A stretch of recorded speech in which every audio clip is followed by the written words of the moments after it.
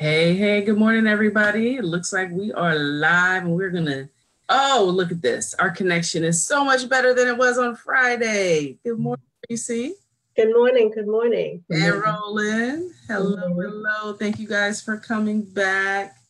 We're doing it much better on a Monday. This is way better. We're a little bit late, y'all. Sorry about that, but we are here and uh, we're so happy to be here. So, for my replay viewers, I want to say good morning and thank you for being uh, here with me, with us, should I say. And uh, for all the you guys that are here live, welcome. We're going to kind of go back and repeat what we were doing last week. Um, had Reese and Roland on, and we were talking about, um, oh, let me just say, for those who haven't been on with me before, um, again, I'm Sensei Subira and I come on every day, Monday through Friday, about 8:30, a little bit late today because we, we got this technical stuff going on.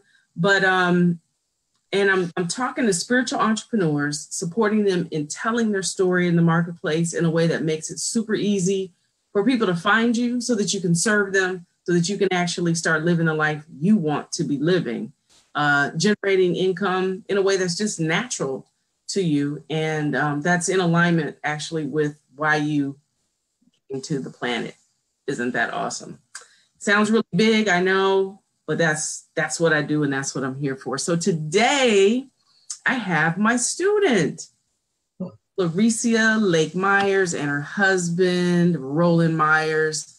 And the reason I decided to bring them on today, hey Dee Dee, nice to see you. Good morning, Nina. Um, is because, guys, I want to talk about the plight of teachers, right? What's really important here is um, the fact that Lynn and Reese are retired teachers, guys.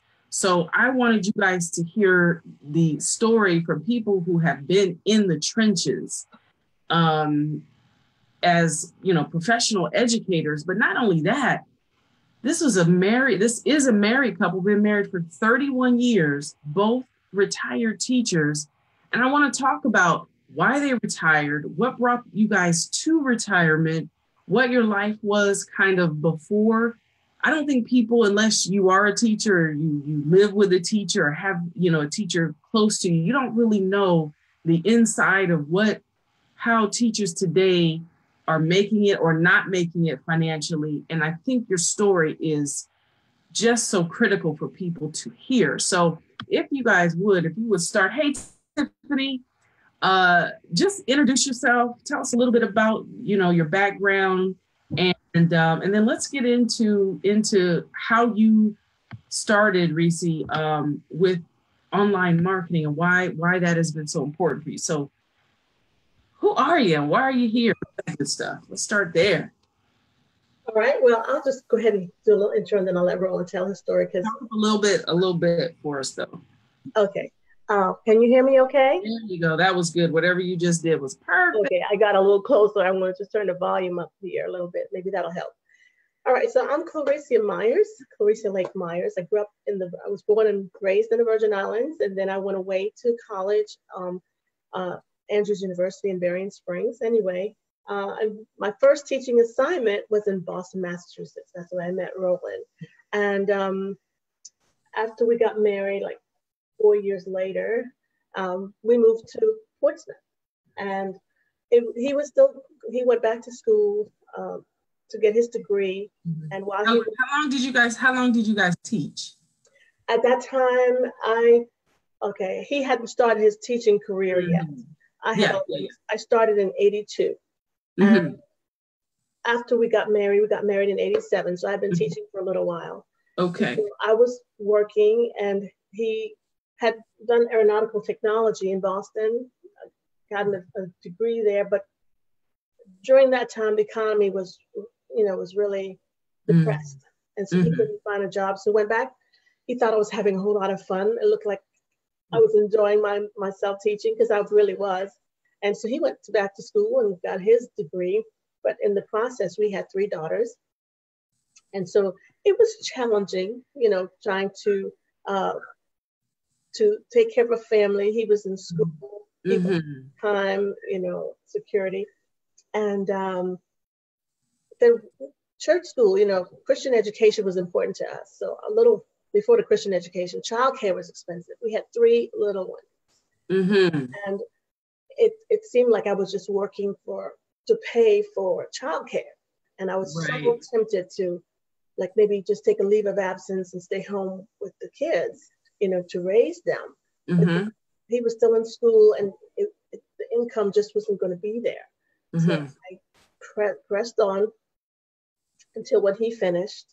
Um, things got a little easier, but again, the children were now school aged, and we mm-hmm. wanted them in an environment that would reinforce what we were teaching at home. So, Reese, tell me this. Tell me what it was like as a teacher. Tell me what you guys' life was like, you know, financially. That's what we came here to talk about today. Uh, we've seen a lot on the Time magazine mm-hmm. that just came out, the covers about how teachers struggle financially. So we can get right to that. Like, what was it like really being a teacher in the classroom? Well, you know, it, was it was challenging because okay. students had needs, and you know, you would think you know, you make a list. These are the things that the children will need for the for the school year, uh, and some parents would send the items that the children needed, but the majority didn't. And so, in order to get certain things done, we would have to go into our pockets to mm-hmm. fund. So you're not only sending your kids to school, paying for your children's supply, your three daughters, but now you're supplementing the classroom for what your students and you guys probably had what 20 or more um, classrooms 25 to 30 between okay. and 30 so you're making sure that your three daughters have what they need in uh in school plus let's say 25 so maybe 30 kids in total that you're actually really supporting financially in terms of uh, school supplies. Uh, yes, and uh, you know, our, our the school system, you know, the principal they would provide some things, but once mm-hmm. that's gone, then that's it. You know, the school year is 180 days long, and some parents would only supply maybe for the first semester, you know, and that's mm-hmm. it. Yeah. Mm-hmm. You know, have so many other days to go, and mm-hmm. Okay, I'll let you. let me put a dollar figure to that. When yeah, give us give us the dollar figure, Roland. Break it down. When she first started working, she was making six hundred fifty dollars every two weeks. Yeah. What? Six hundred fifty dollars. Yeah, every two weeks. That was wow. And we used to get excited about payday eve, because the day before payday. Yeah. That, that was that was like Christmas to us because we're looking forward to this payday. Yeah. You know, the, the problem is, uh, and what I like about being an entrepreneur, you know, you have a chance to expand your income. When you're locked in to a job such as this, a career, or at least on the education level, um, there's really no room for expansion. There's not a right. lot of room for expansion. And you you were saying, Roland, that you you did make an attempt to expand as a teacher by getting a part-time job. So if I remember correctly, what we were talking about last Friday, you had a, and, and I want you to talk because this was so powerful to me that this is what teachers are living through here. Um, you had two jobs. You were a teacher full-time, and then you had a full-time security gig. Yeah you were telling us about that, Roland. Can you tell us more about that so we can be reminded? Because that, that just really blew my mind. Well, basically, I was working around the clock, only with a couple of hours of sleep. Um, I would get off my day job as a teacher. Mm-hmm. If I'm fast enough, I can get home, maybe rest for about an hour. if you're fast enough, you can rest for about an hour. Yeah, if I that is, if I don't uh, linger around the school trying to, you know, tidy up things, uh, which a good teacher would do. Uh, you know, try to get home, you know, and get that rest, shower and rest, and then for about an hour if I'm lucky. But you really don't sleep because you know you're afraid. Well, you only have an hour. Yeah, but wow. I'm I'm afraid to fully let go and sleep because if I do, I may oversleep. Mm-hmm. I know I'm not going anywhere then.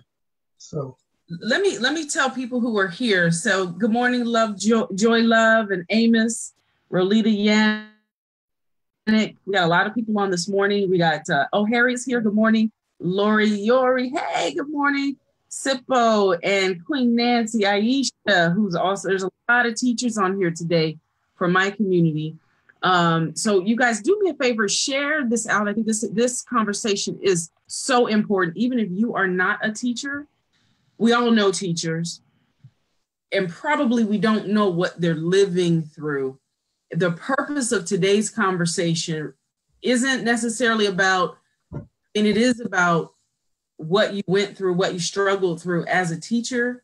But I want to, you know, wrap this, connect this to what you're doing now as online marketers and why you decided. But I think it's important to set the stage, like for people to understand what your life was actually like as a teacher and and then why you decided to come online to to make a difference in your life financially. So go ahead and pick that up. Thank you guys for sharing the the uh, engagement. I'm seeing the likes and loves. Thank you guys for that so much.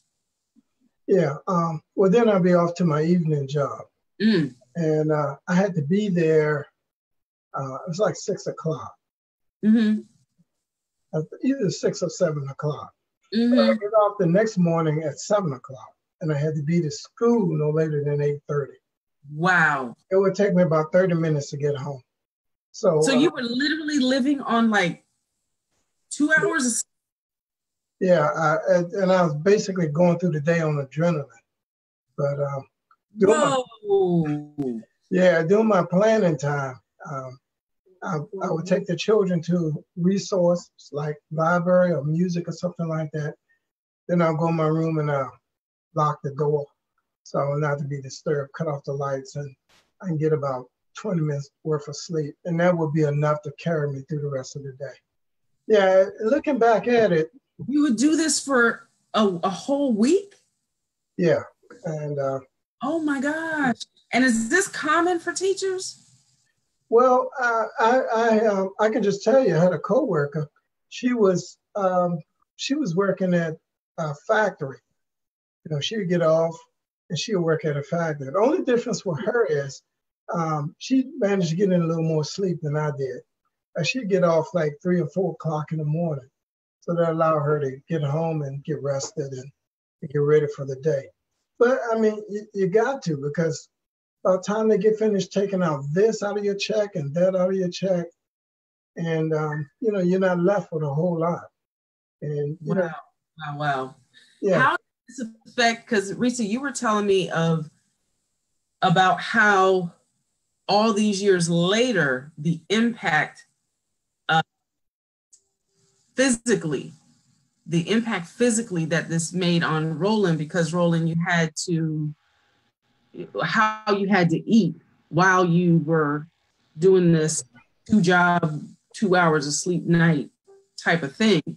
How did this impact your physical health? Thank well, you, was, Sharon. I'm seeing all the shares happen. I appreciate that. Yeah, it was uh, it was devastating. Of course, if you're a security officer, you're not any good if you sleep. So, uh, I mean, I would eat to stay awake. I wasn't necessarily hungry, and mm-hmm the building that I was in, you know, I couldn't really leave, and all they had were these snack machines. Mm-hmm. I mean, I get stuff like cupcakes and candy bars and maybe coffee or something like that. Soda. Yeah, a lot of empty sugar calories. and adrenaline. I mean, sugar and uh, caffeine. Yeah, yeah, you know. So looking back at it, that it wasn't really the smart thing to do. Uh, if I had to do it over again, I wouldn't, and I, and I definitely would do something different. But mm-hmm. uh, I mean, that's how I would stay away. You know. So what happened because he was living this lifestyle, little sleep, um, eating, making unhealthy choices in his uh, diet. Yeah, because he really didn't have time. Yeah, he he um, developed, developed diabetes. You know, ah. developed diabetes, and, and and one thing led to the next. And so um, in 2016, we were about to move from one location to another, and it was hot. It was the last day of school, and we, he was out there working in the heat. He was sweating, and I could tell something was wrong. But we we we were in a crunch and we had been up all weekend packing because we only had a weekend to move from one place to another. And uh, when we left, he was driving. We were driving to to a hotel because the the place we were moving to wasn't going to be ready for another week. Yes. And um, he was swearing all over the road. I said, Roland, you know, this is no time to play. Stop playing. It's not funny. But he wasn't playing. He was a, having a stroke. He was having a stroke. Wait a minute. Hold on. He was having a stroke while driving. Yes, he was having the stroke. And I, I, I said, you know, stop doing that. If you don't stop, I'm going to take over. You guys, please, I hope you please are sharing this out. This is, there's a question on here for you guys. How many years, how long did you hold down two jobs, Roland, is the question. Um, well, it was it was over a year. Uh, over a year to do that. So yeah, the impact on your not only your psychology but your physiology. Wow. And he had that. He was having the stroke, and I didn't know he was having a stroke until you know I said, "No, stop the car. Let me drive." And we were on the highway, and the cars were you know honking at us, and you know, right, right, right. Playing. But when we, when we stopped the car and then I took over, you know, when we got out, his face was twisted, you know, and that's when I knew that this was not something light, you know, to be taken lightly. So that was the first stroke. Um, there was one stroke. There was he had a second, um, but not yes. right away. So that was the last day of the school year in 2016. So he mm-hmm. had the summer to kind of recuperate. He didn't seem to have any negative lasting effects. His mm-hmm. face straightened back out. And so we weren't sure should he attempt going through another school year or or not. So he started the school year, but as you know, teachers work really hard. The, the, the demands that have been placed on us are uh, just continue continue to mount. Nothing yeah. is being taken off the plate, but it's just packed high. You know, and the question is, what else can you do? That's their whole mentality. What else can you do? Mm. Um, mm. I'm kind of so they kept adding and adding and adding. Subsequently, you had second stroke. Yeah. And, and finally, at that point, that was when you guys said, "Okay, enough is enough." And Roland, you retired first, correct? Uh, no, he was under evaluation. They had to determine mm-hmm. if he was eligible for disability or whatever and see, you know, his cognitive testing and, you know, to see what effects it had on his brain with memory. And, you know, there were things that he really couldn't remember to do. And right, so right. I took family medical leave to be able to assist him in, in recuperating, mm-hmm. you know, because, you know, in the classroom, you can't be making errors and spelling and, right. you know, and remembering to do certain things.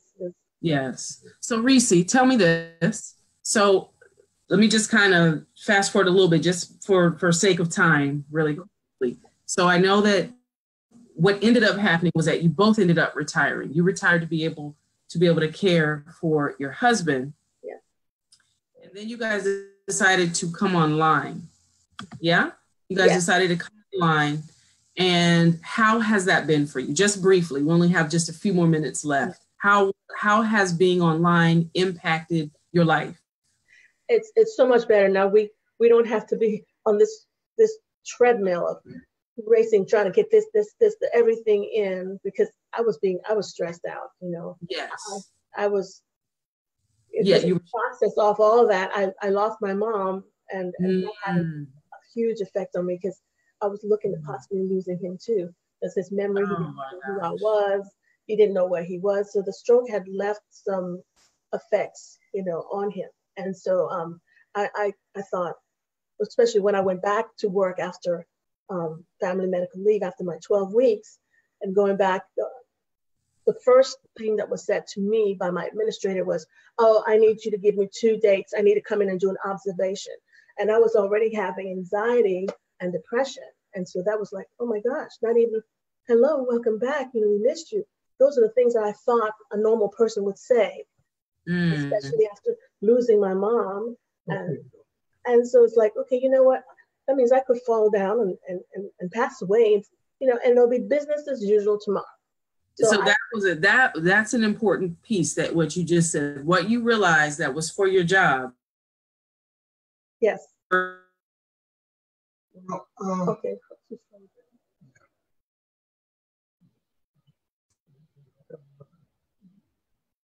Can you hear us? Well, just in case you can hear us, uh, severely you're frozen. I think the computer's trying to download now. Correct this out.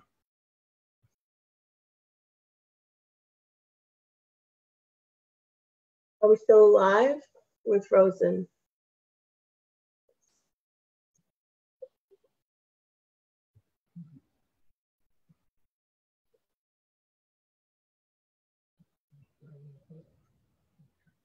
Oh, we, we okay. We're gone. We are we live. It says live. I don't know.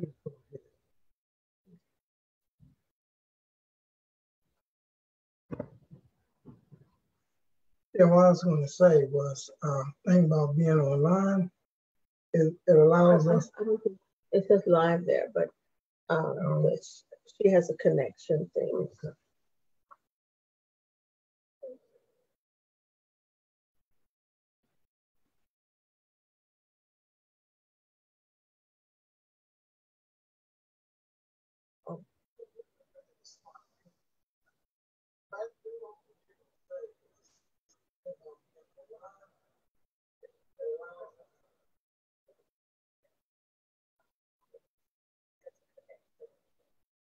Okay, and we still live then. Okay, go ahead, Roland. All right, I mean, I guess I, what I want to say, thing about being online, we're still learning this thing, but it allows you to service your customers a lot faster. You know, it, it allows uh, interaction and transactions to occur much more smoother. And uh, you can be so many places at once without actually being there. Okay, we're back. So, there we go. We're back. I don't know what happened there. But anyway, uh, let's go ahead and just wrap this up quickly because I don't know what happened with my internet, but it's back. Um, okay. At the end of the day, what I what I wanted to, you know, leave people with, and hopefully you guys, you know, kept talking about, you know, kept just giving your story, um, is the difference being online why you chose to to come online and how you know how you feel now that you're working online? Well i, I was just going to say and i'll try to wrap this up quick. Yeah. Uh, we're still getting the feel of being online but the yeah. great thing about it is it allows us to service our customers a lot faster and more efficiently. And mm-hmm. another thing too we can reach more people at one time. Mm than what we were doing before. So, mm-hmm. you know, just that's just the way the world is going. Everybody's going online. And I just want to say, I know I feel more fulfilled. You know, just like I felt fulfilled in the classroom working with the children over the years, but mm-hmm. I feel like I, I, still have a lot to give, and I want to help people. I want to help mm-hmm. families to to um, to eliminate the stress in their life, and, and debt is a huge stressor in in people's lives because we we've been down that road and mm-hmm. uh, you know there is a better way had i known then that there was a better way and, and, and i feel a lot of teachers are trapped because working i would hear people saying things like you know like oh man oh i wish i you know if i had another job to go to i'll go tomorrow you know because they're overwhelmed you know they're stressed mm-hmm. and then you know you're you're evaluated based on the student's performance, right. not on your ability as a teacher, on the mm-hmm. student's performance. Some children can care less. And if the students perform poorly on a test, it's a teacher's fault. Right. You know, and there's just a lot of pressure all the way around. Yeah. Now that you're online, things are much better. They're much better. We okay. can enjoy the outdoors, which is what I love. okay. Okay. Great. Well, I want to go ahead and wrap this up. We can come back. You know, I'm going to have uh, different students come on uh, during the week, uh, pr- probably on Fridays for those who are still here. again, to all the replayers and the people who are here live, thank you for staying around live. I'm sorry about for this uh, tech glitch we had this morning. But anyway, that is uh, that is the nature of live streaming. It is what it is as it is. So um, that's both the uh, it's a two-sided uh, double-edged sword, as they say. So anyway, I want to thank you guys for being on. Uh, we will hear a lot more from you. I know you have an ebook that you're working on now that's going to be coming out, and you also have a print book that is a children's book. I'm going to have you come on and talk more about that um, on another show. So that's exciting. Um, and you're learning how to market yourself. Yes. Right? And my whole thing, my whole, my reason for being, what I learned from being a breast cancer survivor is that my story was enough. And my story would actually financially support me for the rest of my life if I learned the skills and tools of being online if I learn those things, and you all are learning those, you know, from me now, and um, I'm I'm just proud of you, Reese, because a year ago you didn't even know how to hardly turn your phone on to come on live, and now you go live every day.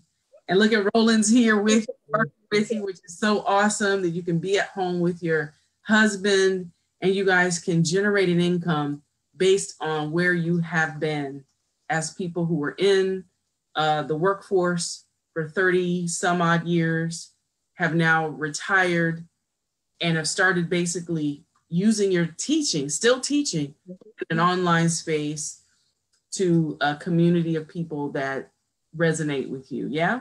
Yes, that's for sure. That's for sure. Awesome. Awesome. Well, guys, we will come back again. Thank you guys all who are watching. Thanks to everybody who shared. Thanks to the replay viewers for coming back and checking this out. And if you're a teacher, especially, I want you to check out Reese's show. She's on every morning, Monday through Friday at 8 a.m. Eastern Standard Time, and she takes you out in nature and shares what she is experiencing and learning and um, her business, how it's developing as a retired teacher who is now online. So thank you guys so much for your time. Thank you for sharing your story. Believe me, your story is not only healing you, it's healing other people.